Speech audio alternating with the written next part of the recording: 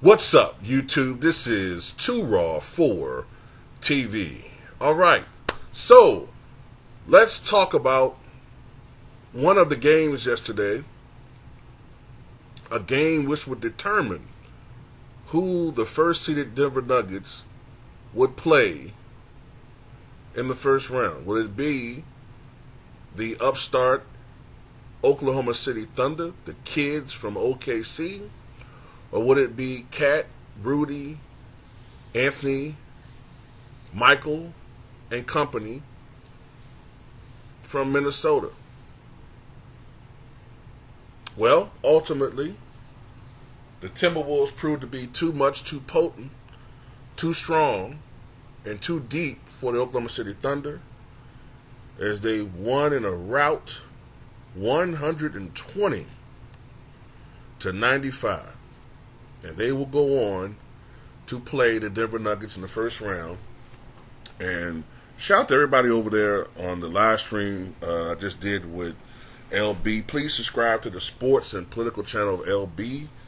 Uh, that was a great uh, a great live stream we just did talking about the first round series and giving our thoughts as to how each series would go.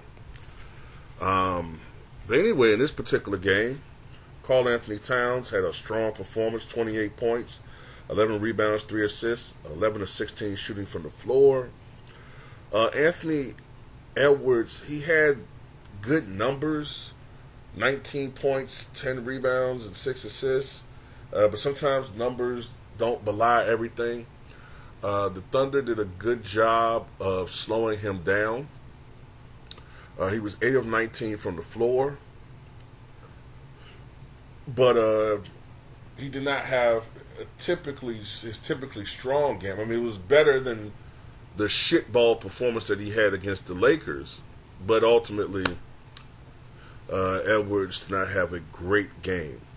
Uh, Mike Conley, 14 points, 3 rebounds, 3 assists, 4 of 6 shooting, 2 of 4 from three point range. And Rudy Gobert, of all people, Rudy Gobert, 21 points, 10 rebounds, 2 assists. He was 6 of 11 from the floor. And I believe he was a career high as far as attempts from the free throw line, 9 of 14 to go for his 21 points. Kyle Anderson, 11 points, 6 rebounds, 4 assists, 4 of 9 shooting, 2 of 3 from three point range. And uh, Taurean Prince and I have a good game, only 2 of 8, 6 points. For the Thunder, SGA, Sean, uh, Shai Gilgeous Alexander, um, he did not have a strong game. He did not have a, a good game at all. Only 5 of 19 from the floor. Only 5 of 19. I think he was something like 12 of 12 from the line, but only 5 of 19 from the floor. Uh, they were harassing him all night um, on the, with the defense, with the zone. Um, you know, he just did not they, they, they didn't make it comfortable for him all night. And as a consequence, he had a very, very bad game when they didn't need him to, have that type of game. And outside of him, uh, Jalen Williams, 17 points, 4 of 8 from three point range. Uh, Lu Dort, 17 points, 4 of 8 from three point Going with 8 rebounds, but it wasn't enough consistent uh, scoring uh, elsewhere. And uh, like I said, the Timberwolves just had too much, too much firepower for them. And uh, I'm gonna tell you something. We were talking about this on the live stream. I really think that the Timberwolves, because I think if they played the Thunder, uh, Denver, they would have beaten them. Uh, Denver would have beaten the Thunder. But I think the Timberwolves have enough firepower, and they have enough of matchup advantages that they could very well upset Denver. At first, I was thinking Denver in seven, but I think that Minnesota may be able to beat, and I think they're going to beat Denver in six. I think they're going to upset Denver. And after this, if this does occur, there's going to have to be legitimate criticism of Jokic. Now, if they go out there and somehow sweep the Timberwolves, I will recant. I will say, guess what, man?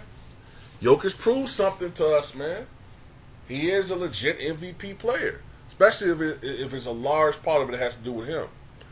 But I think um, in order for Denver to win this series, they're going to have to have strong performances, not just from Nikola Jokic, but from Jamal Murray, who, even though I know he's never been an All Star, uh, at the end of the day, uh, he is an All Star level player. And not only that, uh, you know, they have other guys, Mike, uh, uh, uh, Michael Porter Jr., KCP is good. You know, they have definitely some weapons. now they got um, Reggie Jackson. So they have guys that can step up and get you big buckets. But I just think Minnesota's too deep, man, and athletic too. And um, I think they're going to expose Jokic's uh, subpar interior defense, his slow footedness. So that's another thing too.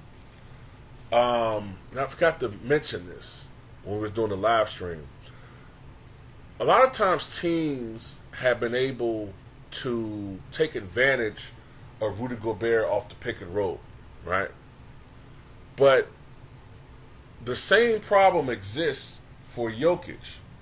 The thing is, though, this is the key thing. If you get Rudy Gobert in trouble uh, foul wise, Memphis it will hurt Memphis, but Memphis could, could survive that. If you get Jokic in foul trouble, that's the death the death toll for uh, Denver. So we'll have to look into that. But tell me what you guys think.